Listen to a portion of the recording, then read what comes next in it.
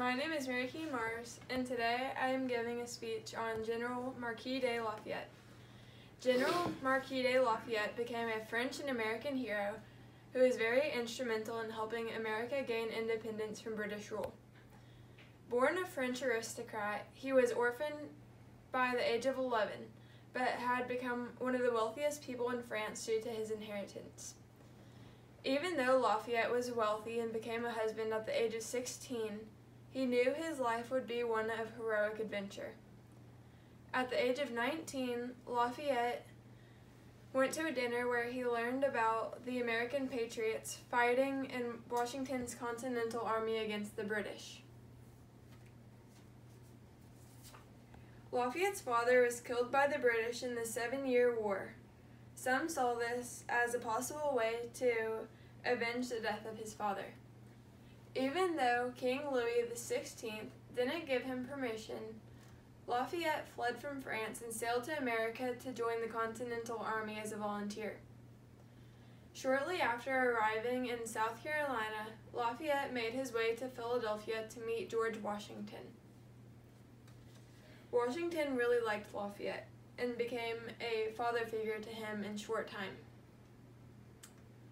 Washington and Lafayette had to start planning immediately because the British were headed to Philadelphia as well and would fight the Continental Army at the Battle of Brandywine.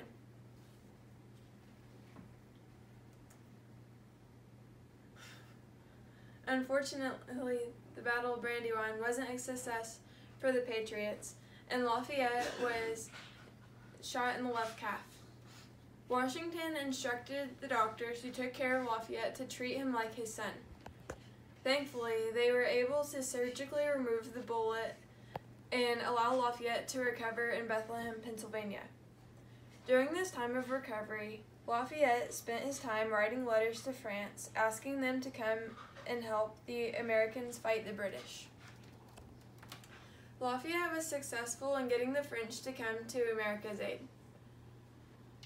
At the first at first King Louis XVI sent naval warships to help, but after Lafayette went back to France himself and requested help, King Louis sent French forces to America under the lead of Comte de Rochambeau, as well as an armada led by Admiral de Grasse.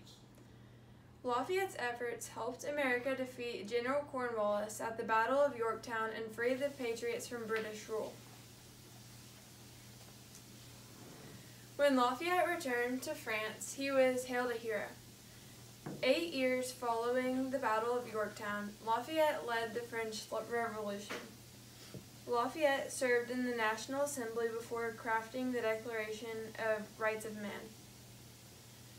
When the revolution became violent, Lafayette fled from France. Olmütz caught and held him captive in Austria. The French government took all of Lafayette's inheritance and they killed most of his wife's relatives by means of guillotine. Lafayette stayed in prison with his wife for five years until Napoleon Bonaparte successfully was successful in getting them released in 1797. About 10 years after his death, Lafayette was in, invited by President James Monroe to visit the United States and do a farewell tour. The tour began in 1825 and was called the Triumph Tour. The tour ended uh, being 13 months long and consisted of Lafayette's visit to 24 states, all 24 states. When General Lafayette visited Lexington, Kentucky, he stayed with General John Keene and his wife, Polly.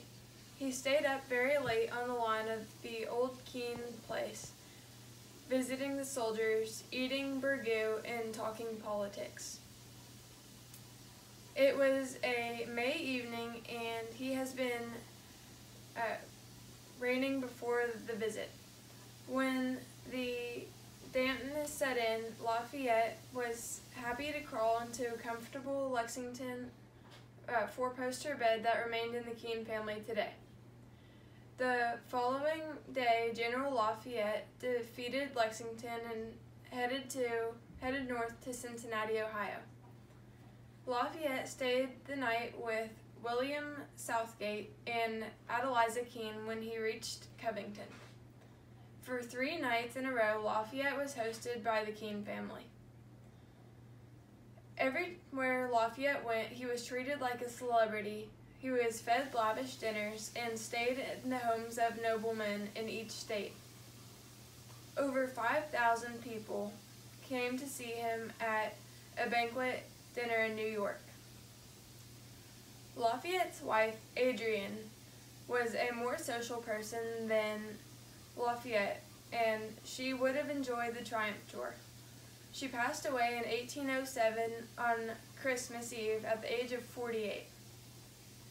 Adrienne was a wonderful wife who stuck by Lafayette's side when he was off to war, as well as when he became disliked by his country and was forced to flee France.